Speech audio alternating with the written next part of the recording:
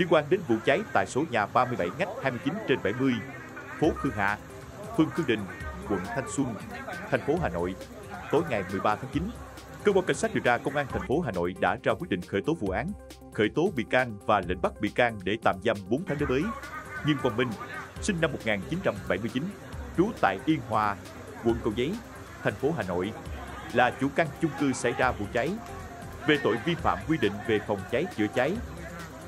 Các quyết định và lệnh bắt bị can đã được Viện Kiểm sát Nhân dân thành phố Hà Nội phê chuẩn. Theo Công an thành phố Hà Nội, tính đến thời điểm hiện tại, đã có 56 người tử vong và 37 người bị thương. Trong đó, đã xác định được danh tính của 39 trên 56 người tử vong. Hiện, Giám đốc Công an thành phố Hà Nội đang chỉ đạo cơ quan cảnh sát điều tra tiếp tục khẩn trương điều tra, xử lý nghiêm theo quy định của pháp luật.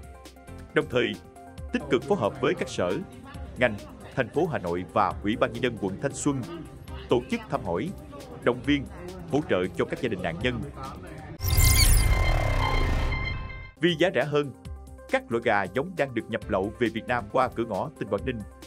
Việc này tiềm ẩn nguy cơ cao xảy ra dịch bệnh, đe dọa ngành chăn nuôi trong nước.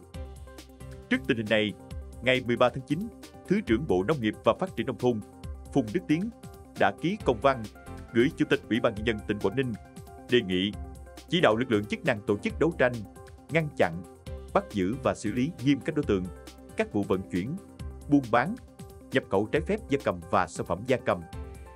Đồng thời, tổ chức tuyên truyền cho người dân về sự nguy hiểm của bệnh cúm gia cầm và tác hại của việc buôn bán, vận chuyển gia cầm không rõ nguồn gốc. Bộ Nông nghiệp và Phát triển nông thôn cũng đề nghị khi bắt được các lô hàng động vật, sản phẩm động vật vận chuyển bất hợp pháp thì lấy mẫu gửi các cơ quan thú y để xét nghiệm. Sau đó, phải tiêu hủy ngay.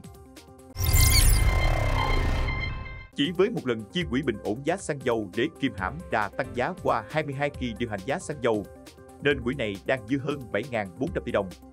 Trong khi giá xăng hiện nay đã gần 25.000 đồng lít. Ngày 13 tháng 9, theo báo cáo của Bộ Tài chính, tổng số dư của quỹ bình ổn giá xăng dầu tính đến hết ngày 30 tháng 6 là hơn 7.400 tỷ đồng. Riêng trong quý 2, tổng mức trích lập vào quỹ của các doanh nghiệp xăng dầu là hơn 1.700 tỷ đồng, nhưng tổng mức chi sử dụng quỹ trong quý 2 chỉ có 5,91 tỷ đồng. Như báo Sài Gòn Giải phóng đã đưa tin, từ ngày 13 tháng 2, sau 21 kỳ điều hành không chi sử dụng quỹ với giá xăng, đến ngày 11 tháng 9, cơ quan điều hành mới quyết định chi quỹ để kiềm hãm đà tăng giá nhưng chỉ áp dụng mức 22 đồng lít với xăng E5 RON 92 và 14 đồng lít với xăng RON 95. Các hãng hàng không Việt Nam Airlines, Pacific Airlines và Vasco vừa cho biết sẽ cung ứng 3 triệu chỗ, trong đó 2 triệu chỗ trên mạng bay nội địa và 1 triệu chỗ trên mạng bay quốc tế trong dịp Tết Giáp Thìn 2024. Số vé này được cung ứng trong giai đoạn từ ngày 25 tháng 1 năm 2024 đến ngày 24 tháng 2 năm 2024 tức 15 tháng Chạp năm Quý Mão đến 15 tháng Giêng năm Giáp Thìn. Vé máy bay Tết đã bắt đầu mở bán từ hôm nay, 13 tháng 9. Để mua vé mức giá tiết kiệm, hành khách nên có kế hoạch đi lại, mua vé từ sớm và lựa chọn các khung giờ, ngày bay phù hợp. Bước đầu xác định, vụ tai nạn là một người chết, 5 người bị thương nặng và nhiều người bị thương nhẹ xảy ra trên đèo Lò Xo là do tài xế xe tải không làm chủ tốc độ lấn qua phần đường bên trái khi xuống dốc. Theo Bệnh viện Đa khoa tỉnh Con Tum, đến 14 giờ chiều nay, 3 trong 5 bệnh nhân nặng điều trị tại đơn vị đã được xử lý vết thương và chuyển về điều trị tại khoa ngoại chấn thương. Hai trường hợp bị đa chấn thương nặng đang được điều trị và theo dõi tích cực tại khoa hồi sức tích cực và chống độc. Liên quan đến vụ tai nạn, Ban an toàn giao thông tỉnh cho biết, tại thời điểm xảy ra tai nạn, xe tải có tốc độ là 70 km/h. Tài xế xe tải là Nguyễn Trọng Ninh, không có nồng độ cồn hiện đang chờ kết quả kiểm tra ma túy. Còn tốc độ của xe khách là 42 km/h. Tài xế xe khách là Hoàng Gia Lâm, không có nồng độ cồn và ma túy.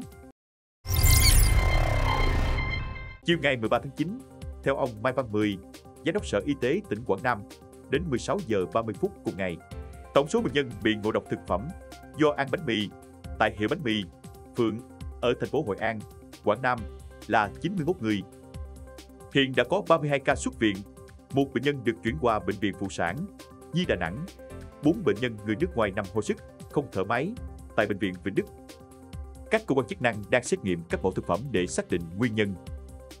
Chi cục An toàn vệ sinh thực phẩm, Sở Y tế tỉnh Quảng Nam thông tin thêm, Tiệm bánh mì Phượng đã bán hơn 1.900 ổ bánh mì trong ngày 11 tháng 9 và bán 1.700 ổ bánh mì vào ngày 12 tháng 9. Kết quả kiểm tra cho thấy, khu vực sơ chế của cơ sở này chưa đảm bảo vệ sinh, chưa phân biệt giữa khu vực bảo quản nguyên liệu, thực phẩm, khu vực sơ chế, chế biến và khu vực khác. Cơ sở này không có dụng cụ thu gom, chứa đựng rác thải, chất thải đảm bảo vệ sinh, thùng rác tại khu vực sơ chế, chế biến không có nắp đậy, các dụng cụ sơ chế, chế biến chưa đảm bảo vệ sinh. Quán công lưu bánh mì, sốt trứng gà tươi trong số lượng món ăn trong một ngày. Trước đó, báo Sài Gòn Giải phóng đã đưa tin nhiều trường hợp có dấu hiệu ngộ độc thực phẩm sau khi ăn bánh mì Phượng trong ngày 11 tháng 9. Ngày 12 tháng 9, lực lượng y tế đến tiệm bánh mì Phượng để lấy mẫu. Trong thời gian chờ kết quả, cơ quan chức năng đã yêu cầu tiệm bánh mì Phượng tạm dừng hoạt động.